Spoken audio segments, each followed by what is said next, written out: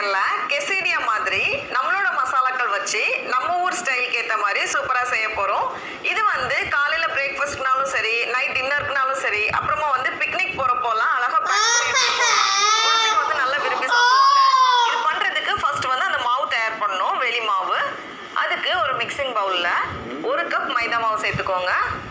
கூடவே ஒரு கப் கோதுமை மாவு. அப்படி இல்லைன்னா ஃபுல்லாகவே மைதா மாவுலேயே நம்ம செய்யலாம்.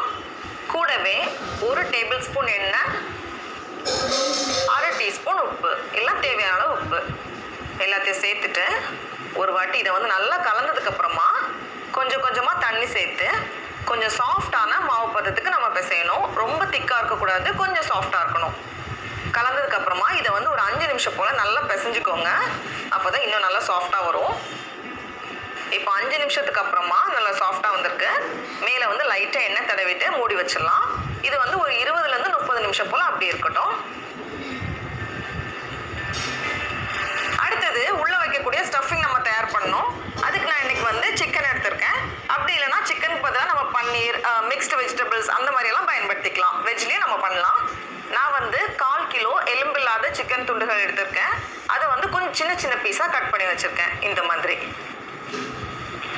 மேரினேட் பண்ணுறதுக்கு ஒரு துண்டு இஞ்சி ரெண்டு பல் பூண்டு சேர்த்து நல்லா இடித்து இந்த மாதிரி ரெண்டு டீஸ்பூன் அளவு இருக்கும். இஞ்சி பூண்டு விழுது. கூடவே கால் டீஸ்பூன் கரம் மசாலா அரை டீஸ்பூன் சீரகத்தூள்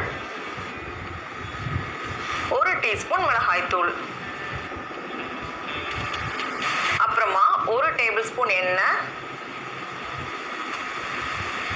கூடவே பாதி எலுமிச்சை பழத்தோட சாறு கடைசியாக தேவையான அளவு உப்பு. எல்லாத்தையும் சேர்த்துட்டு இதை வந்து நம்ம நல்லா கலந்து வச்சிடலாம். இதுவும் வந்து ஒரு இருபதுலேருந்து முப்பது நிமிஷம் போல் அப்படி இருக்கட்டும். அப்போ தான் அந்த மசாலா உள்ளே இறங்கும். மாவு ஊறினதுக்கப்புறமா இதை வந்து விரிச்சிட்டு நம்ம லைட்டாக வேக வச்சு எடுக்கணும். அதுக்கப்புறமா ஸ்டஃப் பண்ணிட்டு மறுபடியும் நம்ம வேக வைப்போம்.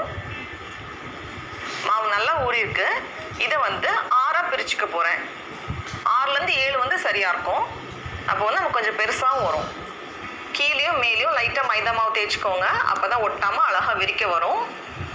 இப்போ இதை வந்து கொஞ்சம் மெல்லிஸாக நம்ம விரிக்கணும். ரொம்ப குண்டாக இருக்கக்கூடாது. கொஞ்சம் மெல்லிஸாக இருக்கணும். இந்த மாதிரி. இப்போ ஒரு தோசைக்கல்லை சூடு பண்ணிவிட்டு ரெண்டு பக்கமும் லைட்டாக வேக வச்சு எடுத்துக்கலாம். ஃபுல்லாக ரெடி ஆகணும்னு அவசியம் இல்லை.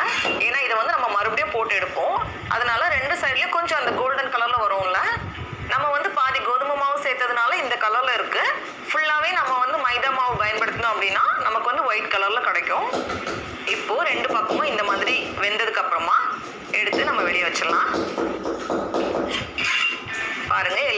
சாஃப்டாக அழகாக வந்திருக்கு. இந்த மாதிரி இருக்கணும். வெளியே வைக்கக்கூடிய அந்த டாட்டியா ஷீட் எல்லாமே ரெடியாக இருக்குது இனி வந்து நம்ம சிக்கனை வேக வச்சிடலாம். அதுக்கு ஒரு பேனில் ரெண்டு டேபிள் ஸ்பூன் போல் எண்ணெயை சூடு பண்ணிக்கோங்க. எண்ணெய் சூடானதும் நம்ம மசாலா சேர்த்து வச்சுருக்க சிக்கன் துண்டுகள்லாம் உள்ளே சேர்த்துடலாம். சேர்த்துட்டு இது வந்து கொஞ்சம் நல்லா ரோஸ்ட் ஆகணும்.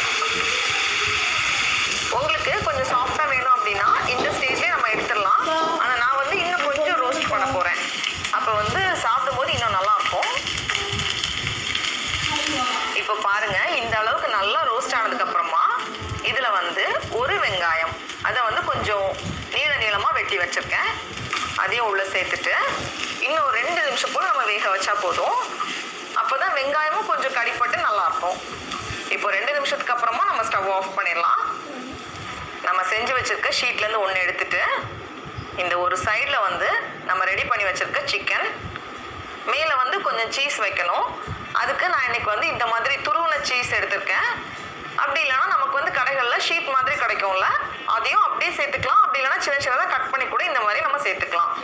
மறுபடியும் தோசைக்கல்லை சூடு பண்ணிட்டு கொஞ்சமாக எண்ணெய் அப்படி இல்லைன்னா வெண்ணெய் சேர்த்தாலும் ரொம்ப நல்லாயிருக்கும். ரெண்டு பக்கமும் நல்ல கோல்டன் கலரில் அழகாக ரோஸ்ட் ஆகி வர்றது வரைக்கும் நம்ம வந்து வேக வச்சு எடுக்கணும். இப்போ ஒரு சைடு ரெடி ஆனதோ இதை வந்து நம்ம கொஞ்சம் அட்ஜஸ்ட் பண்ணிட்டு திருப்பி போட்டுடலாம். இப்போ ரெண்டு பக்கமும் ரெடி ஆகியிருக்கு. இதை எடுத்து நம்ம வெளியே வச்சிட வேண்டியதுதான். இது வந்து நம்ம அப்படியே சாப்பிட்றதுனால ஓகே இல்லை ரெண்டு பீஸாக கட் பண்ணி வச்சோம் அப்படின்னா எடுத்து சாப்பிட்றதுக்கு ஈஸியாக இருக்கும். ஒன்றை வந்து நான் பிச்சு காமிக்கிறேன். சீஸ்லாம் அழகாக உருகி ரொம்ப சூப்பராக வந்திருக்கு. டடா